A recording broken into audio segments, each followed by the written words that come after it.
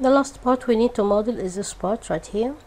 And it has the same shape of this object except it's a bit rounded down here. So let me get back to 3ds max. And before we do this I need to change something. I need to make these uh, legs having the same length of course. So I change the mode the vertex mode. I select all of these vertices here. Use the scale tool to make the, them all even because it's useless to have legs while it's not even. Okay. So now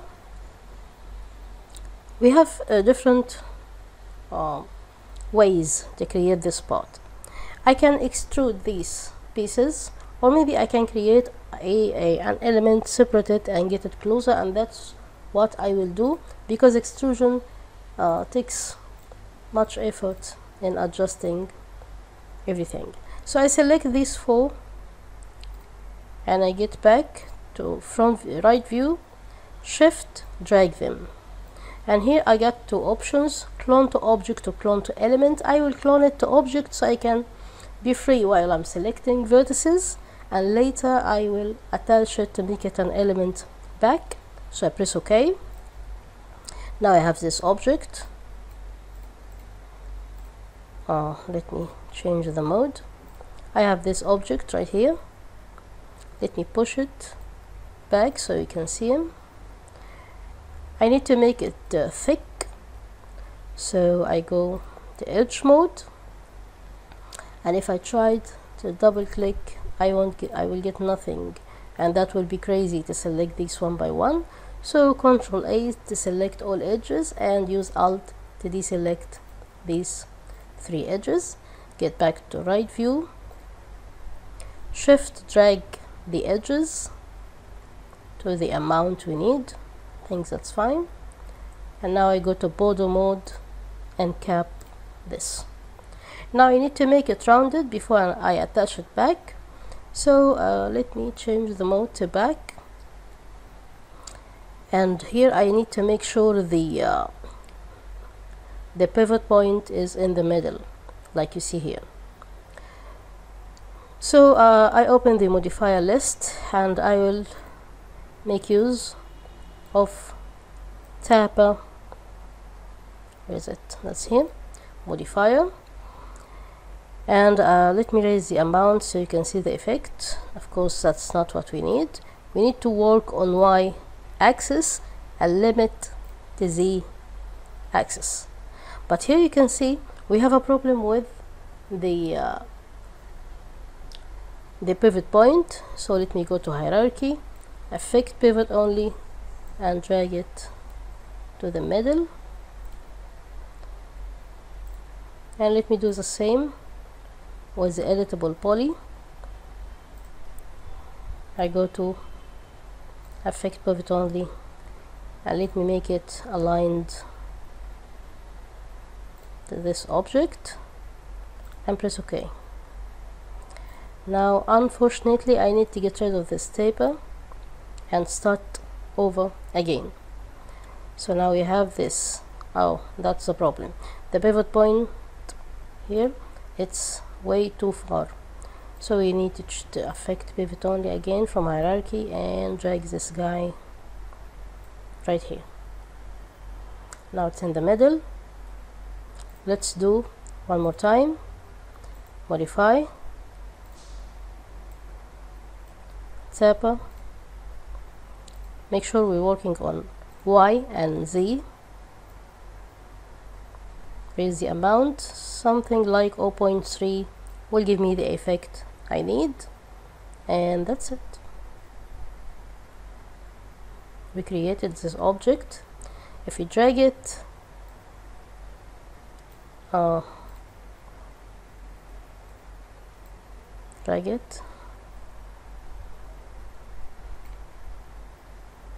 close to this one as close as we can. And here we need to make the uh, the effect of the taper limited. So let me limit the effect. To something like what you see here. So the effect works on the lower part only. So when you activate limit effect you can change the value from upper and lower limit but here I get what I want I have the same shape in the upper part and the effect works only uh, down. So let me modify this.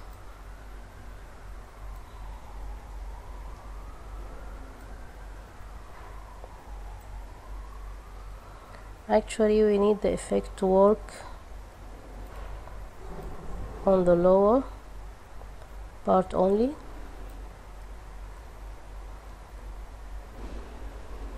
need it to be rounded like this. So fine. And the upper maybe the upper needs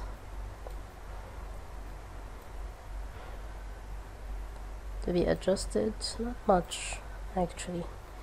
Maybe the tap the taper value needs to be decreased. Let me check.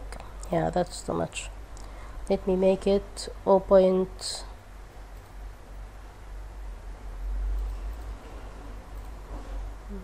Point twenty two is fine. And gives me the effect I need. Okay. For curve it gives you more curving but you need if you raise the curve you need to reduce the amount. So you can play with it until we get what we need.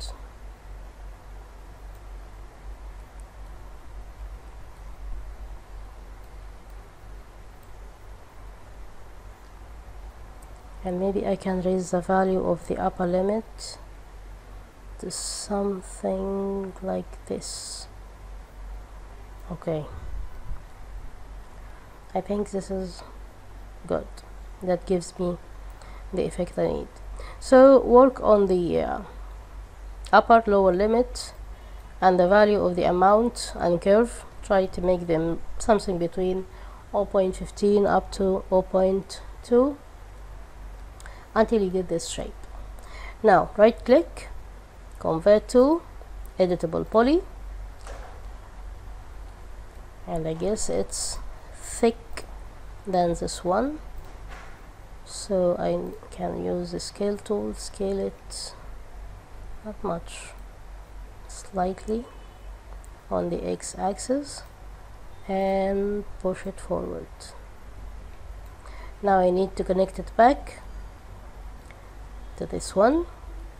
So I use attach and I pick this object. Now they are grouped again. We're done with this part the last thing I will do and actually I won't do it while recording is decrease few edges not very much uh, edges is left here maybe this edge the new edges we created while welding this edge right here needs to be creased and this too maybe the new part we created and at last I will drop it inside a, uh, a turbo smooth so it can, can be smoothed like the other parts. Uh, what will be left for me is this part right here. That's what we will do in the next recording. And actually we can see it so I looked up to find something um, that can help me. And that's what I got. I got this shape and that's not um, it's nothing much actually. Just few cuts and this uh, rounded so we can do it in the last video. So keep up with us. To the last video